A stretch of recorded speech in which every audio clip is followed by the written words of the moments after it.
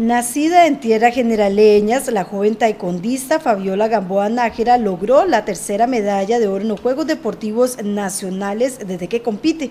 Esta joven alcanzó, por cierto, la primera presea en la disciplina que representa para Pérez Celedón en esas justas deportivas 2018.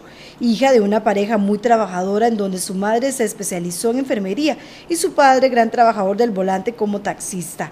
Impulsaron a Fabiola desde los cinco años y junto con la Academia De Pérez Celedón, la han visto desarrollarse como una gran atleta de la disciplina del taekwondo. Estudiante del Liceo UNESCO de Pérez Celedón, seleccionada nacional desde los 11 años. Participó en actividades internacionales en países como México, Estados Unidos, Nicaragua y otros, logrando medallas para el país.